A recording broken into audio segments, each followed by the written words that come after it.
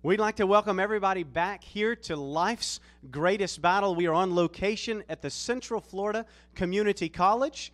The voice that you hear after our special music will be that of our evangelist, Phillip Sizemore, who will bring to us a presentation titled Just in Time. But prior to that, we are going to have a special musical selection by Wendy Finley and Cheryl Rilea. Ladies.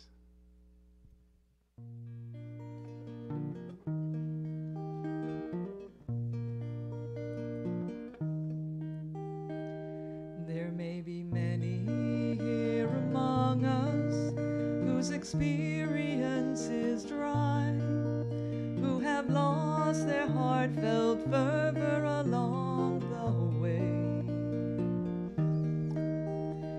They're just going through the motions, just filling empty space. If that's you, my friend, if you've lost the heart to pray.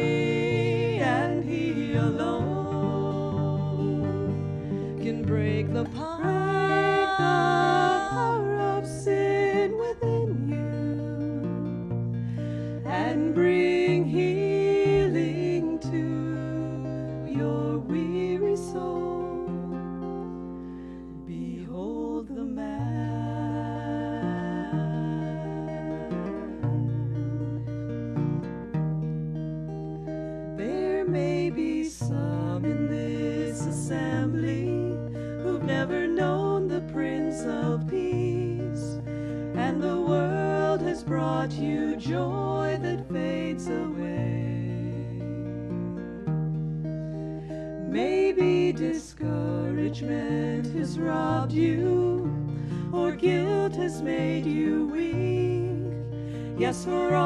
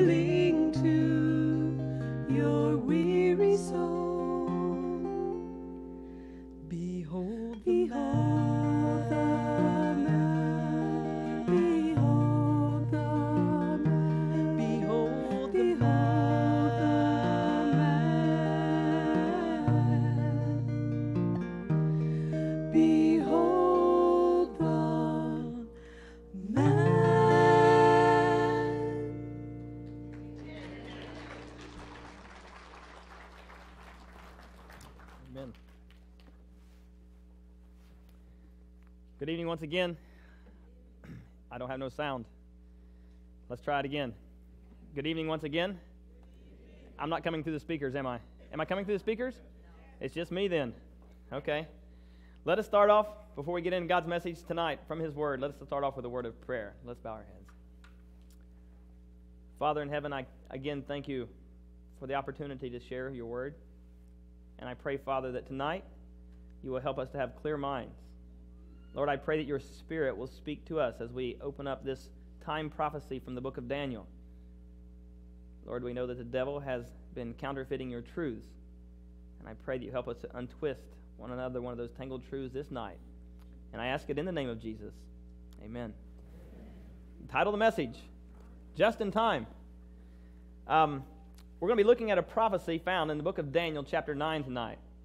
Now, if you'll recall, like almost every meeting that you've come to, for the most part, from many of you anyway, from just conversing with you after the meetings, after the messages, almost everything that we one time kind of thought to be true, find out that the Bible actually didn't teach it sometimes. Have you, have you noticed that on quite a few things?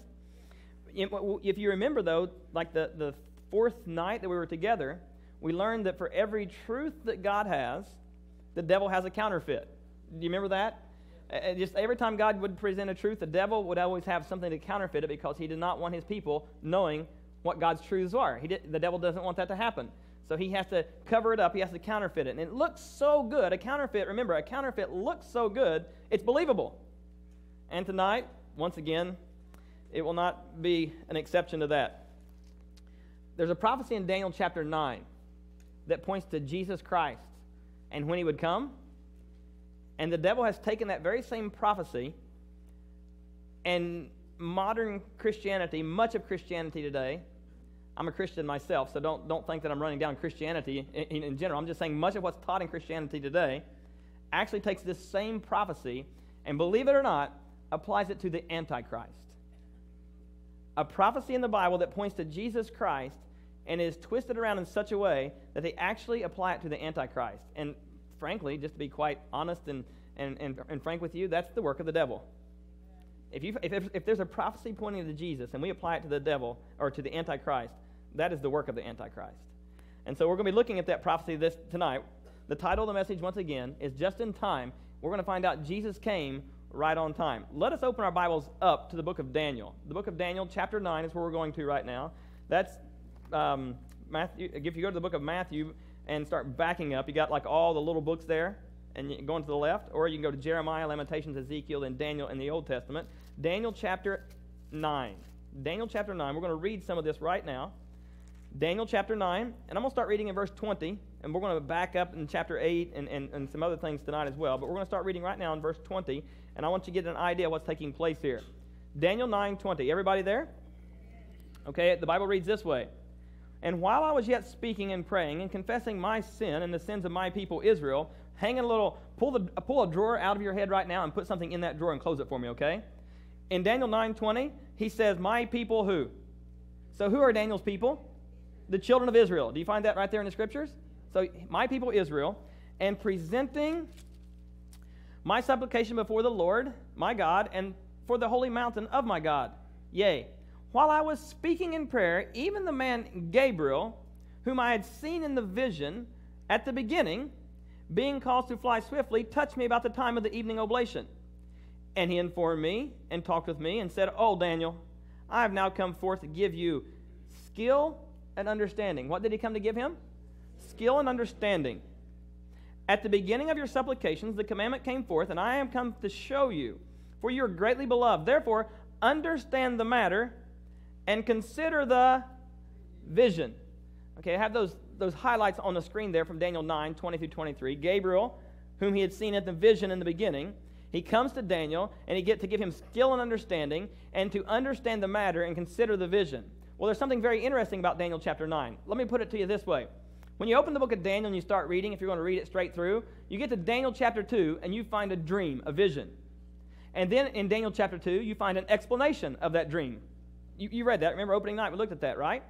And then you go on and you move along to Daniel chapter 4, and you'll find another vision, a dream. The king has this dream about a tree, and the tree's cut down. And, and then in Daniel chapter 4, you find an explanation for that vision. Then you get, then you move along and you get to Daniel chapter 7.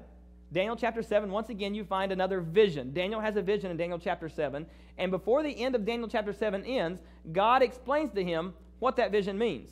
Remember, we looked at that when we studied the Antichrist. We studied a good part of that vision. There's still some of it we're going to go back and look at another night, tomorrow night, as a matter of fact. So, Daniel 2, Daniel 2, you have a vision and an explanation. Daniel 4, vision, explanation. Daniel 7, vision, explanation. Then you move on to Daniel chapter 8. And in Daniel chapter 8, you find a vision and a partial explanation. A partial explanation.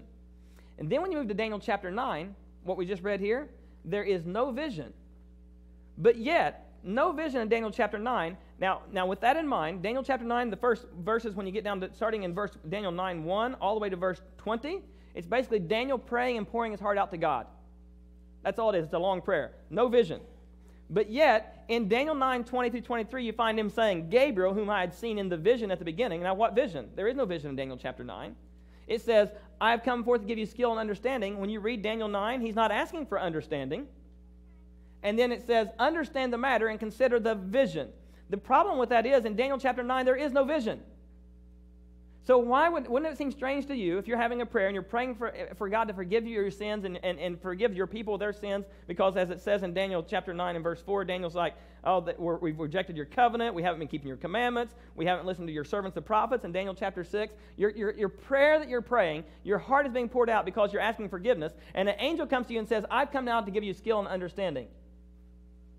And you would say, for what? Right?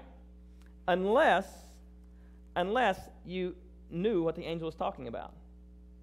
Did you know there was a vision in Daniel chapter 8 that had a partial explanation and Daniel didn't know what was, being, what was going on with it? Open your Bible. On, we're still there. Go, go to Daniel chapter 8. I want to give you a little bit of the background in Daniel chapter 8, and we'll move on to the, the latter part of it. Daniel 8, and we'll just start off in verse 1 here just for a minute. In the third year of the reign of King Belshazzar, uh, the king of Belshazzar, a vision appeared unto me, even unto me, Daniel after that which appeared unto me at the first. And I saw in the vision, and it came to pass when I saw, I was at Shushan in the palace, which is the province of Elam, and I saw in a vision, and behold, a ri- by the river of Ulai. Then I lifted up my eyes, and I saw, and what did he see there? A ram. You see that?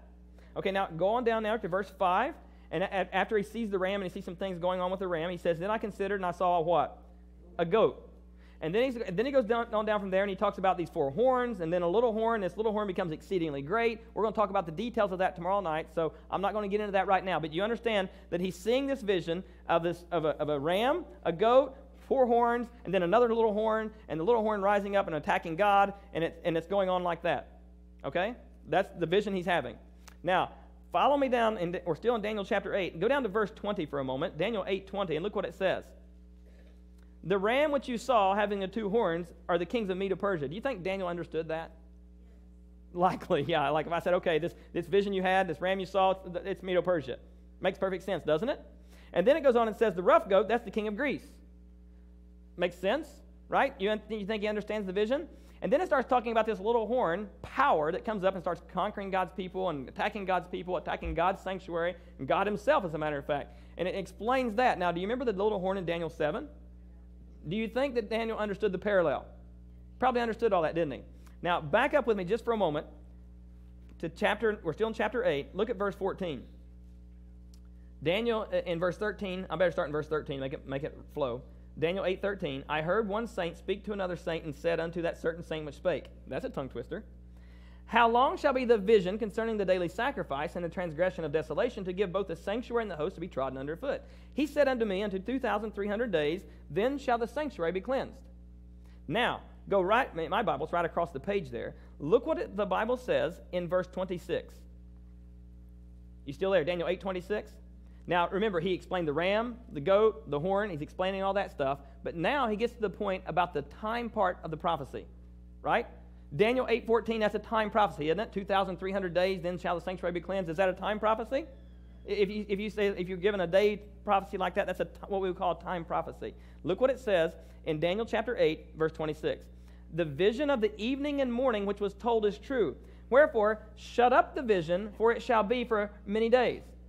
So it gets to the part about the, the 2,300 days, the, the vision of the evening and mornings. That's literally translated from, from actually back in verse 14. Some Bibles you may have out there, a New King James Version or something, it literally translates uh, Dan, uh, Daniel 8.14. Instead of saying 2,300 days, it'll literally say evenings and mornings. Some of, your, some of your center column references will say the same thing. So in verse 26, he says, That vision, the part of the vision you had of the evening and mornings there, is everybody with me? Okay, that part of the vision, look what he says. Shut it up for it'll be for many days. All right? Now look at verse 27. I, Daniel, fainted and was sick certain days, and afterward I rose up and did the king's business, and I was astonished at the vision, but none understood it. Now, what part of the vision was it that was not explained that nobody understood? The time prophecy. You understand that? I mean, do you think he understood that the, that the goat was Medo Persia? I mean, the, the ram was Medo Persia and the goat was Greece? Very clear when the Bible tells you so, right? And it's a little horn and the little horn power doing all these things. But then it says, hey, the part about the time, shut it up. And Daniel says, I was confused. No one understood it. The last time you find Daniel not understanding a vision is at the, is at the end of Daniel chapter 8. Do you see that? At the end of Daniel chapter 8, he says, No one understood the vision. Verse 27. Everybody see that, right? Now you got to understand this. You have to see this. This is setting a foundation. I want you to make sure you see it. So at the end of Daniel 8 27, he did not understand the vision. Then in Daniel chapter 9, he's praying and he says, Look, Daniel, I've come to give you an answer to your prayer. I've come to give you understanding. Remember, we looked at that right there. And, and now understand the matter and consider the vision. Daniel 9 23, right? So now what's he coming giving understanding of? Uh, well, a prophecy, a prophecy. Now we're going to find out this same prophecy that he opens up in Daniel 9 is a time prophecy. Now it's very fascinating because you got over here in Daniel chapter 8, what part of the prophecy didn't he un- did he not understand? The time prophecy. And then you get to Daniel chapter 9, and what part's he going to explain to him? Time prophecy. Oh, isn't the Bible beautiful? When you just spend a little time studying it, look what it says here. We're going to the screen, Daniel 8, 26. Oh, I've already read that. Let's just skip on through that. I'm sorry, I had that up on the screen, but we've already read it. Daniel 8, 26 and 27 none understood the vision. But we're getting to the point we understand now. Daniel 9 24. All right? In your Bible, if you're in Daniel chapter 9, we read Daniel chapter all the way down to chapter uh, 9, verse 23. We read down to verse 23 where it says, Understand the matter and consider the vision. And we learned in Daniel chapter 8, the last thing that he did not understand was a, part of the vision dealing with time. Now look at the very first word, the very first part of Daniel chapter 9 and verse 24. 70 weeks are determined upon your people and the holy city. Before I go any further, let's just stop right there for a moment. Go back from the screen here. Stop there a minute. And it says 70 weeks are determined upon your people and upon the holy city. What kind of prophecy, if it says 70 weeks, what kind of prophecy is that? Very elementary, isn't it? So the last time Daniel did not understand a prophecy was in Daniel chapter 8. At the very end of it, verse 27, I don't understand. You get to Daniel chapter 9, he's not asking for understanding of anything. The angel comes and says, Okay, I'm going to give you understanding of a time prophecy. And here's how it starts. Back to the screen. 70 weeks are determined upon your people and upon the holy city to finish the transgression, to make an end of sins, to make reconciliation for iniquity, and to bring in everlasting righteousness, and to seal up the vision and the prophecy, and to anoint the most holy. Now, it said there in your Bible that 70 weeks were determined upon your people. Who's he talking to? He's talking to Daniel. Yeah, but you remember, we already looked at that back in, in verse 20. Verse 20, it says, Daniel's people are Israel. So, how much time here is, is, is the, determined upon Daniel's people? 70 weeks, are, right? Now, I got a question I want to ask you, and then I'm going to, it's kind of a rhetorical type because I'm going to answer it for you as well. The word determined there in Daniel chapter 9 and verse 24, um, where it says 70 weeks are determined upon your people, what does the word determined mean there? It's a pretty good question, isn't it? Like if I'm going to determine something, that means in, English, that means I, have made up my mind I'm going to do it, right? I've determined I'm going to do it. But is that what it means right here? 70 weeks, I've made up my mind on your people? Very interesting. If you look at the original word here that you find in, in the Hebrew written out there, it's only found one place in all the Bible. Only one place. And I'm going to put it on the screen here. It's on the screen. The word is, can somebody say that for me? Chathak? Chathak? Chathak. Choktok. Thank you, Scotty. All right. The word means determined. I don't know how to pronounce it, but I know what it means. It means, the word determined means to be cut off. Literally means to be cut off. In other writings, Jewish writings outside the Bible, they do find that word used, chathak. And it's used usually in conjunction with the sacrificial system, cutting an, a, an arm or a leg or something off of an animal, right? Cutting something off of an animal for sacrifice. The word literally means to be cut off. Is everybody okay with that? The word chathak? it means to be cut off, okay? And so, back to the, what we're reading here in verse 24 70 weeks are cut off upon your people. Now, tomorrow night we're going to do what's called the, what we, what's the longest time prophecy in the Bible, the 2,300 day prophecy. You found it there in Daniel 8 14, right? This time is cut off from something. What do you suppose it's cut off from? The longer time, right? To be cut off. That's what the word means. So he says 70 weeks, Daniel. Now listen, this is the part that's important tonight. 70 weeks are cut off for your people. Who's Daniel's people? Israel. So I'm going to use 70 weeks on you. You're the cho- you're chosen people for 70 weeks. So I got that on the screen there. 70 weeks are for Daniel's people, the children of Israel. Now, if I were going to say to you something like this, now this is very important for people that have studied this prophecy and they have a, a, a, what I'm going to call misunderstanding at this point.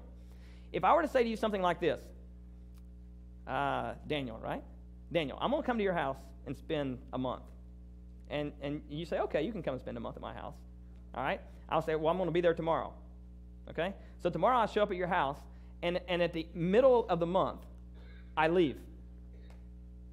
But how long did I tell you I was going to be there? A month. Okay? So I leave his house in the middle of the month. And then about eight or nine weeks later, I come back and say, Daniel, I'm here for the rest of that month. You're like, well, I'm busy. I'm not going to be home. But, but you said I could stay there a month.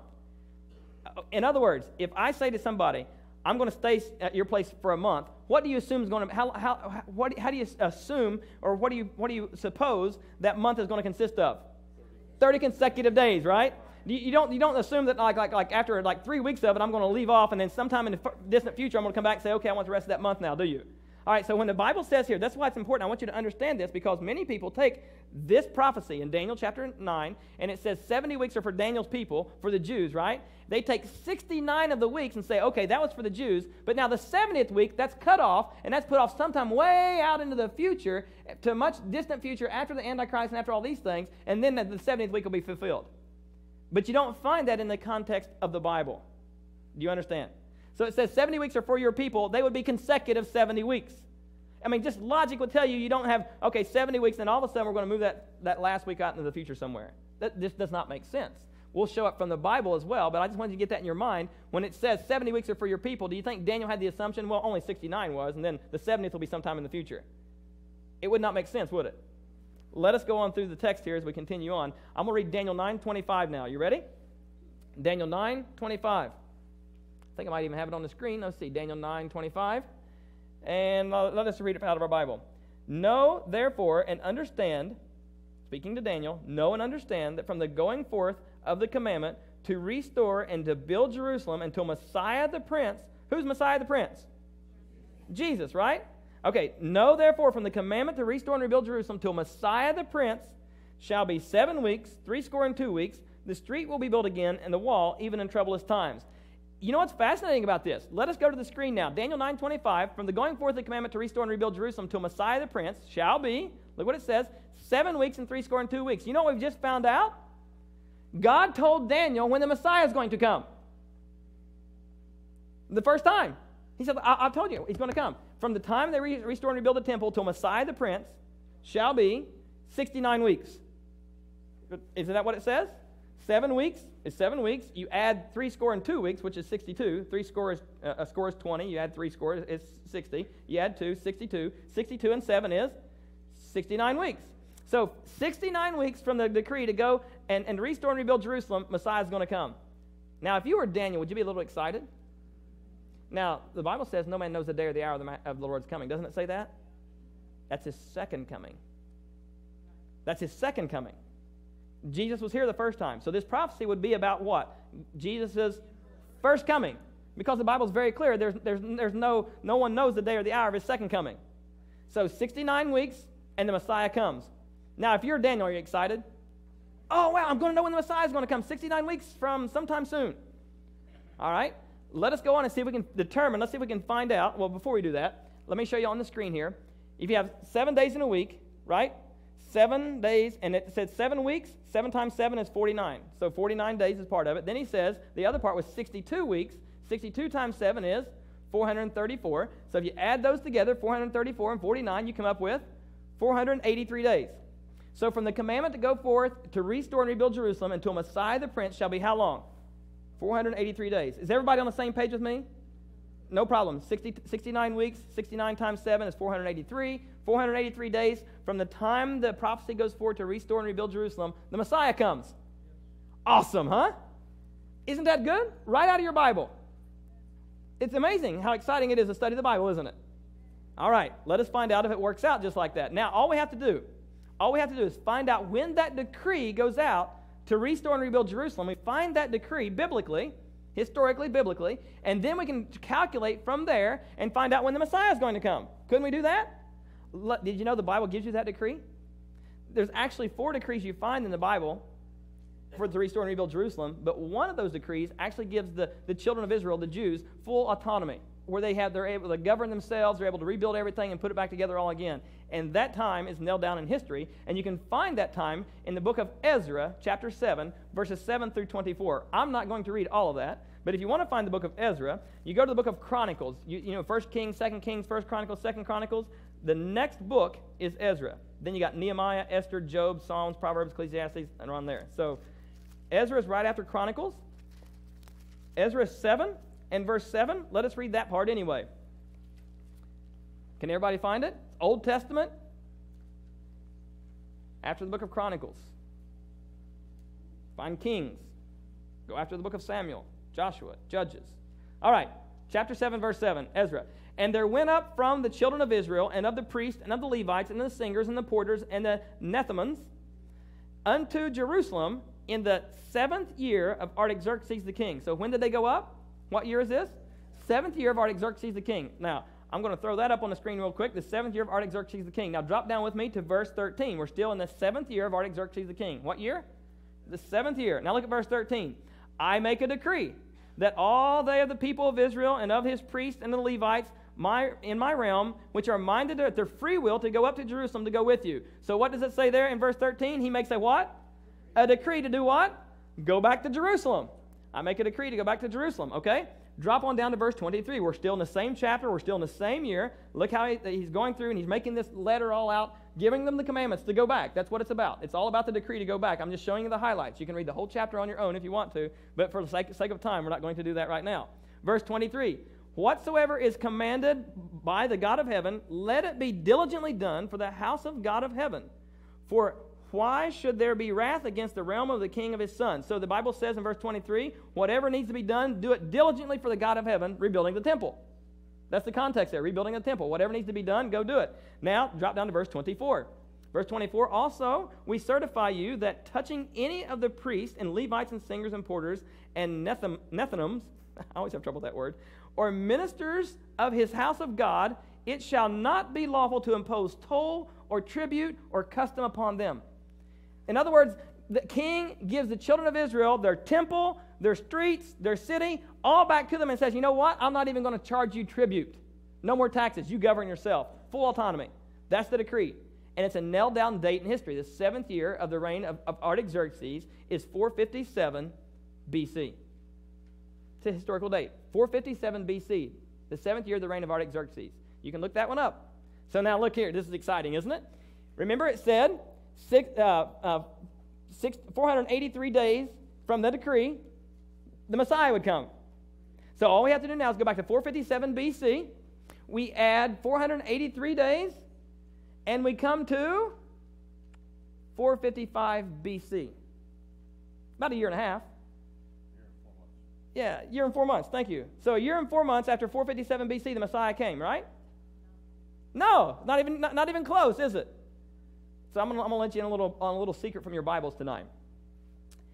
In the Bible, when you're talking about prophecy, and you have a day, a literal day there, or, or a prophetic day, it's actually equals to a literal year. Now I have some people they like to be they like to be very cynical, and they'll say something like, "Oh, now wait a minute." Doesn't the Bible say a day with the Lord is as a thousand years, and a thousand years is as a day? It says it twice.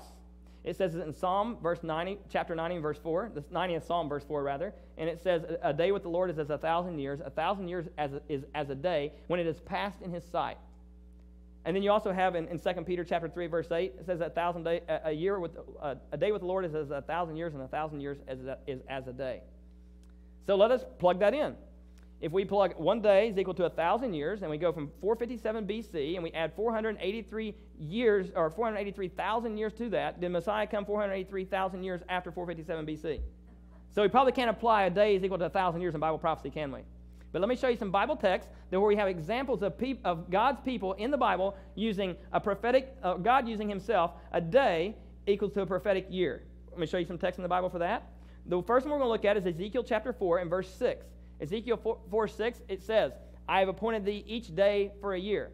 Okay? He says, after you've done this, turn on your side again. And, and, and then he just goes and tells him, I've appointed you each day for a year. Ezekiel's a prophetic book of the Bible. He's talking about a prophecy each day for a year. You can read the context in Ezekiel 4 6. Also, you have in Numbers, chap- Numbers chapter 14 and verse 34. Remember the children of Israel went and spied out the land? Remember when they done that? And, and, Moses sent them to spy out the land, the promised land, and they went to spy it out. Does everybody remember that? Do you? Yes? Okay. How long did they go spy out the land? 40 days. And they come back and they said, Oh, it's wonderful. They got these big fruit and they got all these great things. It, it, oh, it's just wonderful there. Except one major problem the people are so big we can't do it. And God says to them, or, or actually, you have Caleb and Joshua saying, We can do it. We can do it. God's with us. And the rest of the people were ready to kill them because they said, No, we're not going to go because we'll get killed. And they upset God, if you could do that. And God says, Okay, fine. If you won't do what I'm telling you to do, you're going back into the wilderness for 40 years. Because you, you spied out the land for 40 days, you're going back for 40 years. I appoint you each day for a year. So you have, you have more than one time in the Bible, and there's other places as well. We're just going to do this for the context, that if we apply one day is equal to a literal year. Now, I've given you some examples of that. I've showed you where you can't use a 1,000 years as a day because that would be 100, 483,000 years, and surely that, that he's come before now, right? And we still got a long ways to go for his second coming if it was applying to that. But if we apply each day for a year, literal days didn't work, did they? Because it only took us a year and a half later. Let me show you what happens if you apply one day prophetically is equal to a literal year. Now, this is a standard principle like in Bible study. Day for year in Bible prophecy. Just curiously, how many people have heard that before before I come up here anyway? You've heard a day for year in Bible prophecy. Okay, so it didn't really need proof, but some people, just in case, we wanted to prove it anyway. Let me show you what happens. On the screen, the decree goes out in 457 BC, 483 days later, but we're going to add make that years later, and it comes to the year 27 AD. Ooh, now that's a lot closer to the time of Christ, isn't it? Well, was there something that happened in 27 AD that we can maybe pinpoint this to and say, hey, there's the fulfillment of the prophecy? Is there? Let us look. The decree goes out in 457 BC. On your screen there, 457 BC, you see the decree going out. You add 483 years later, you get to, you get to 27 AD. Do you know what happened in 27 AD? Actually, in the fall of 27 AD, Jesus was baptized. Now, the decree was, went into effect in the fall of 457 BC. It takes some extra studying to do, but you actually can find out when the decree went into effect. When it went into effect was in the fall 457 BC. Now, some people are saying, oh, no, wait a minute, wait a minute, wait, hold it, back up. I got my calculator out, and I put in 457, and, and, and I added 483, and I come up to 26 AD. You're a year off. True. Let me ask you this How many people were born in 0 AD? Do you have any historical events that happened in 0 AD? No? Nothing at all? You want to know why? Because there was no 0 AD. The, when, when you do the timeline, uh, at, at the timeline, you're looking at years in timeline, it goes 5 BC, 4 BC, 3 BC, 2 BC, 1 BC, 1 AD, 2 AD, 3 AD, 4 AD. You understand? There is no zero. So if there's no zero and you have 483 years, you've got to take out that place marker. And that takes you to 27 AD, not 26. Is that pretty clear? You understand you have to do that. You have to go, there's no zero in it, so you have to add a year to get to the 27. 27 AD. Let me show you something from the Bible. See, sometimes we read things in the Bible. I, I'm guilty as anybody else. And I just like the genealogies and stuff like that. Aren't those monotonous? It's like begat, begat, begat, begat, begat. This was the king, that was the king. Sometimes it is, personally, I, I get a little bogged down with that. But other times, I believe it's put there for a very specific reason always it's probably a very specific reason, but sometimes it's more, more um, effective than others. Here's one of those Luke chapter 3, verses 1 through 3. Matthew, Mark, Luke, John. Let us go to the book of Luke in the New Testament, chapter 3. And we're going to read verses 1 through 3. I want you to go ahead and go there yourself. We're going to spend some time in the New Testament right now, and I want you to be able to see this. The Bible says, Now in the 15th year of the reign of Tiberius Caesar, Pontius Pilate being governor of Judea, and Herod being tetrarch of Galilee. Let me just continue to read from the Bible here. Everybody's still turning, I hear. Herod being tetrarch of Galilee, his brother Philip tetrarch of Iturea, and of the region of Trachonitis, and Lysanias, and the tetrarch of Abilene, and Annas and Caiaphas being the high priest. The word of God came to John, the son of Zacharias, in the wilderness, and he came and to all the country about Jordan, preaching the baptism of repentance for the remission of sin. Now, when you read this, it's almost almost annoying sometimes. You're going through all these names. The word of the Lord came to John the Baptist in this time frame, and this is who was ruling, who was ruling, who was ruling. Did you know there was only one time in Earth's history that all these rulers ruled during the same time? It was only a very short time in, in space that they all ruled during the same time. It was the latter part of 27 AD. As a matter of fact, when, when, when, when it says here that in the 15th year of uh, Tiberius Caesar, um, that 15th year of Tiberius Caesar, historically, is guess what year?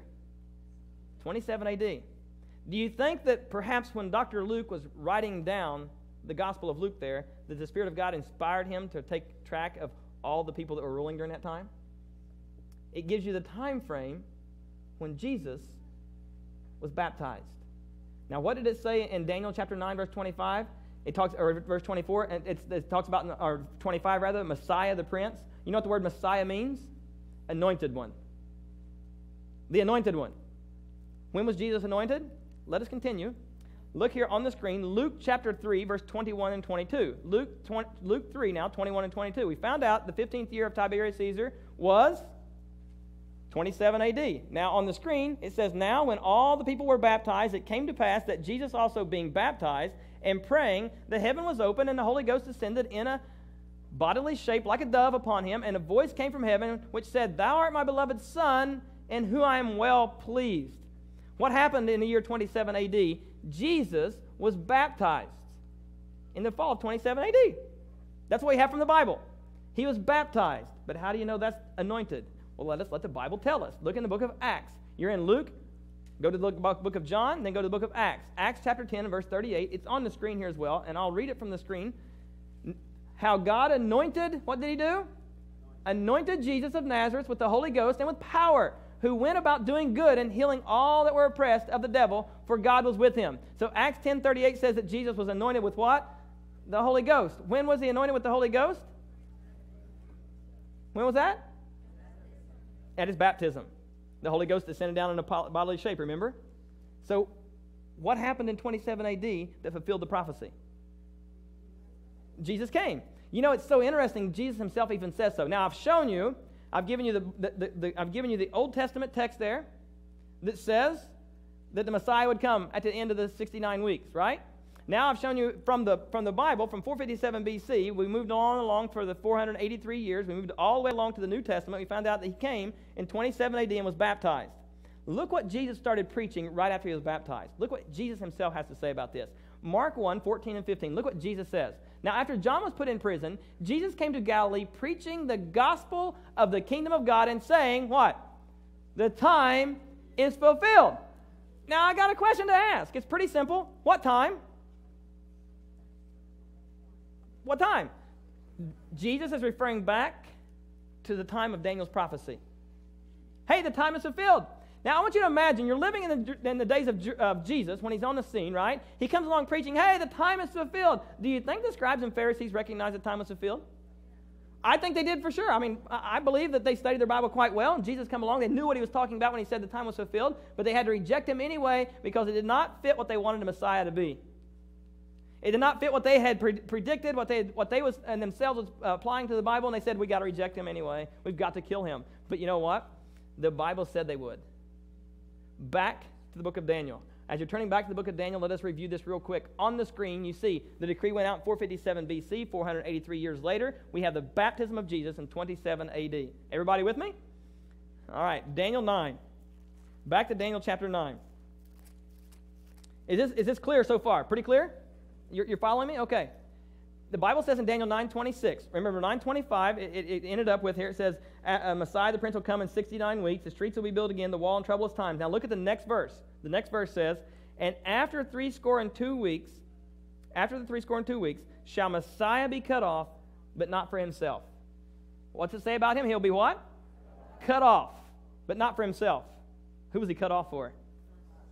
Me, right? Us.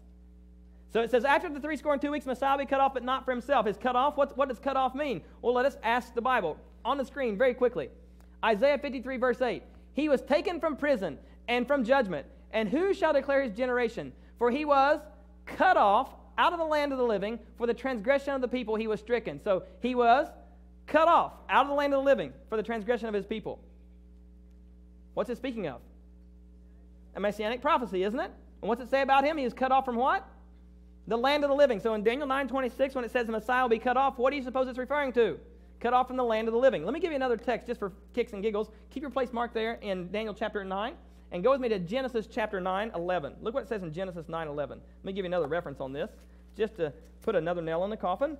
Genesis 9, 11, the Bible says this I will establish my covenant with you, neither shall all flesh be cut off any more by the waters of the flood, neither shall there be any more be a flood to destroy the earth. So what's it referring to there? All flesh shall not be cut off again. What's it talking about? Killed. Cut off, killed. So in Daniel 9:26, when it says after three score and two weeks Messiah will be cut off, what is it referring to? So sometime after the 69 weeks, the Bible says the Messiah will be cut off. And you know it tells you exactly when that'll be? Now here's where it gets interesting. Stay with me. All right, let me move along here. Isaiah 53, 8 where that's found. Daniel 9, 27. Well, actually, 926. Let's, let's at 926. I'm sorry. After the three score and two weeks, Messiah will be cut off, but not for himself. The people of the prince shall come and destroy the city and the sanctuary, and the end thereof shall be with a flood, and to the end of the war of desolation is determined. Now, let me show you something here. Daniel 9:25, the first part of that verse, what's that referring to? It's Messiah. You see it? Daniel 9:25. All right. Daniel 9:26, the first part of that verse, what's it referring to? Messiah. Daniel 9:27, the first part of that verse, what's it referring to? Somebody would say the Antichrist the Bible, Hebrew writers are writing in parallelism, and the first part of every verse is talking about the Messiah, the Messiah, the Messiah. The second half of the verse is talking about the city, the city, the city. Okay? So every time in context, it's talking about the Messiah, the Messiah, the Messiah. Wouldn't it be obvious that the last verse also would be talking about the Messiah? Let us look and see. Okay? Verse 27 now. And he, he shall confirm a covenant with many for one week, and in the midst of the week he'll cause the sacrifice and the oblation to cease. So in the middle of the week, the prince, all right, or, or the Messiah actually here, says, and, and, he shall confirm the covenant with many for one week. In the midst of the week, he'll cause the sacrifice and oblation to cease. Okay, does this fit the Messiah? Well, I want you to understand what happens in the middle of the week. Now, some people say, oh, no, this has to apply to the Antichrist. But notice the context. The first half of every verse is the Messiah, the Messiah. And then it's the Antichrist? Listen, listen, brothers and sisters, that doesn't make any sense. It doesn't make any sense at all. Let us read it through real quick one time. I'm going to start in verse 25. Know therefore and understand that from the commandment to go forth to restore and rebuild Jerusalem until Messiah the Prince shall be, here's the time frame. Verse 26. After three score and two weeks shall the Messiah be cut off, but not for himself. Here's where the confusion comes in. Let us t- just spend a second on it. And the people of the prince shall come and destroy the city and the sanctuary. Do you remember Jesus in Matthew chapter 24 saying, When you see the abomination of desolation spoken of by Daniel the prophet stand in the holy place, he who reads, let him understand. Do you remember reading that in Daniel 9? I mean, I mean Matthew 24? Jesus speaking that? Right? What happened in 70 AD to fulfill what Jesus was saying? The temple was destroyed. 70 AD, the temple was destroyed. It was destroyed in 70 AD. This is a prophecy of that very thing. The people of the prince. Who would be that prince? Titus. Titus.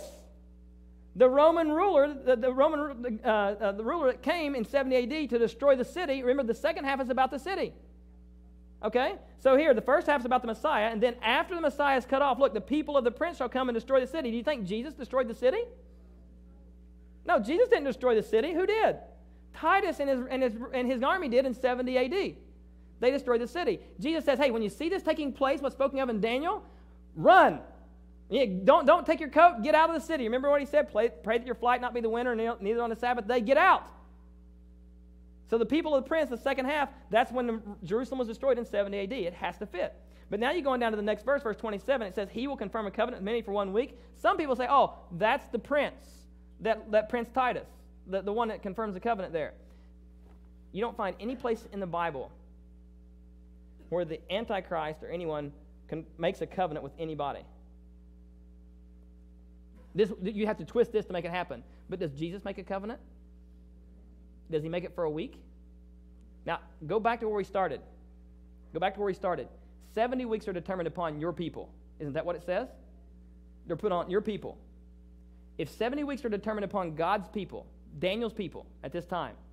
The 70 weeks, has it been ended at the end of the 69 weeks? There's still another week to go, isn't there? Another week to go. Can you take that 70th week away and just put it down somewhere else in the future and say, well, we'll, we'll just apply that some other time? Would that make sense? You have to do that in order to apply this to the Antichrist. But now look how beautifully it fits if we apply it to Jesus Christ. Okay? Look at how it fits if you apply it to Jesus Christ. Let us go on. 457 BC, the decree goes out. From 457 BC, how long is it going to, the total prophecy? 70 weeks. Isn't that what he said? 70 weeks are upon your people? And he gave the time he gave the time beginning of that in 457 BC. Is everybody with me? So let us follow along. 483 years later, we have the baptism of Jesus. How long did Jesus' ministry last? Three and a half years. You can read the Gospel of John, figure that out. Now, I want you to notice what it says again in verse 27. Look at verse 27 with me. He shall confirm the covenant with many for one week, and in the middle of the week, he'll cause a sacrifice and oblation to cease. What, what part of the week? Okay, how long is a week? What's half of a week? Three and a half. If a day is a year in Bible prophecy, as we've already shown it is, what's three and a half years after 27 AD take you to? The end of Jesus' ministry when he causes the sacrifice and oblation to cease. Once he's crucified, is there any more reason to bring sacrifices and oblations? Oblation being an offering? Why? Because the Messiah has come. Do you see that? Let me put it up on the screen another way. Look what it says up here. Mark 1, 14 and 15, the time is fulfilled. Jesus is preaching 27 AD, the fall. Three and a half years later, Matthew 27, 50 and 51, the veil of the temple was ripped in two when Jesus was crucified in 31 AD. Do you remember seeing that? Read, reading that in Matthew chapter 27, 50 and 51, the veil of the temple was ripped. Now, how was it ripped? From the top to the bottom, showing that it was the hand of God. If you are being a mere man, how would you rip a curtain if you had to rip it? Would you get up on a ladder and climb up on top and start trying to rip from the top? How would you rip it? From the bottom up. But it showed it was the hand of God doing it because the prophecy was fulfilled. What did Jesus pronounce when he was on the cross? What did he say? It is what is finished? The sacrifice, the offering, the work that he needed to do to save us in the behalf of man. That work, the main thrust of the work right there, the sacrifice had ended. Look what it says here. Daniel 9 27, he shall cause the sacrifice and oblation to cease. Did they have any reason to offer sacrifices anymore after 31 AD? The spring of 31 AD, Jesus was crucified on the cross, and look how that fits with Daniel 9:27. Fits perfectly. A prophecy applying to Jesus Christ, don't apply it to the Antichrist. He came just in time. He died just in time.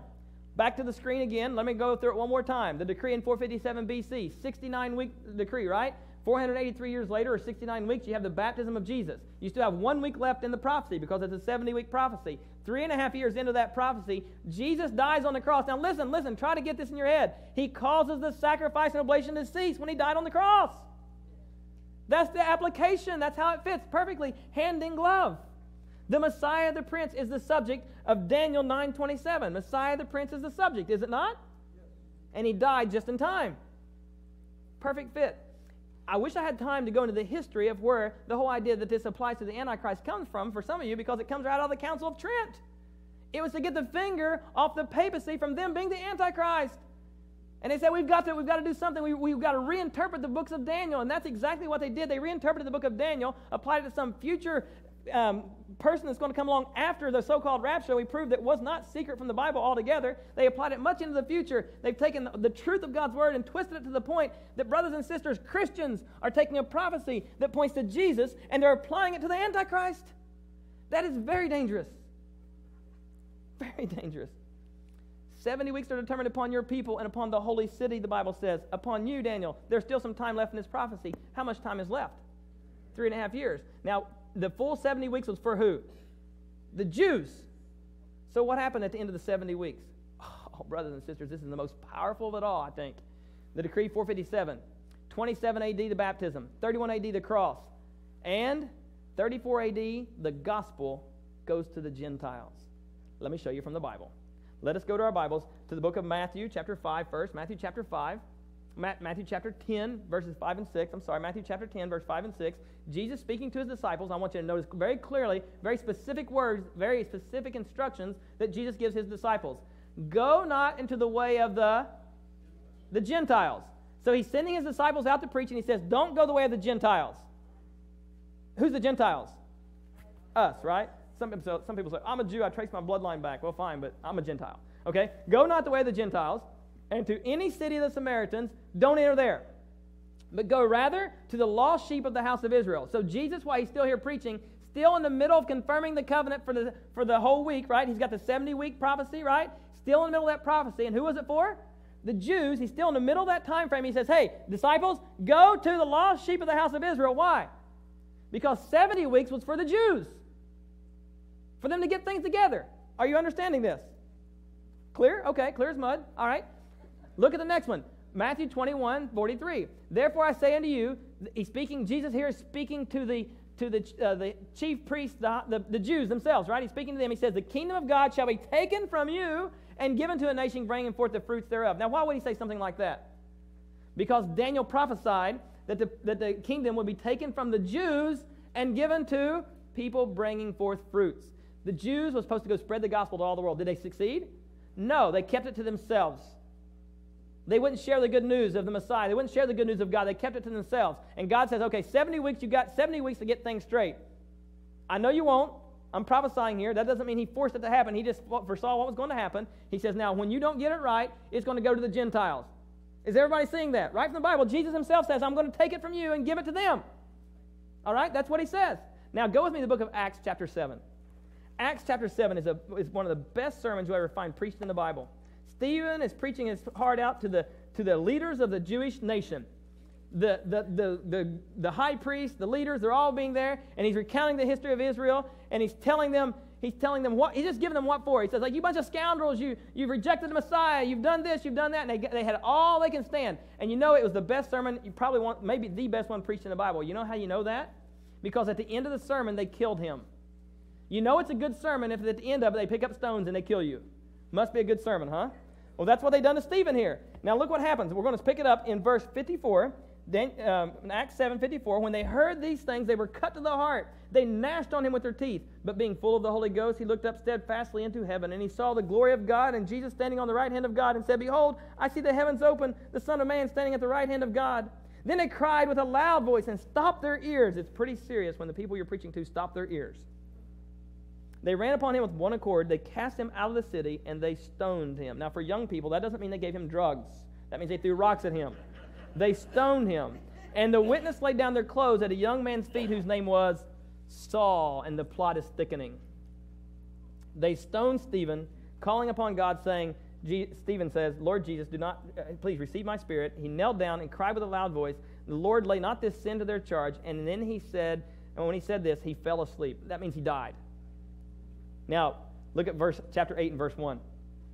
And Saul, consenting to his death, at that time there was a great persecution against the church in Jerusalem, and they were scattered abroad throughout the regions of Judea and Samaria, except the apostles. Devout men carried Stephen to his burial, and lamentation was made over him. Verse 3 Saul made havoc of the church, entering into every house and hailing men and women, committing them to prison. Verse 4 Therefore they, they that were scattered abroad went everywhere where? Everywhere preaching the word. What happens at this point? The gospel goes to the Gentiles. Do you know that Paul, or Saul here, this guy Saul, in the next chapter, he gets a new name. You know what his new name is? Paul. And he becomes the apostle to the Gentiles. What happens in 34 AD? Stephen is stoned, killed. He's killed. And after he's killed, the gospel goes to the Gentiles. They officially rejected the Messiah. They officially rejected God's word. They officially rejected God. And God says at the end of the 70 weeks, I officially reject you. Daniel 9 says 70 weeks were cut off for who? Israel.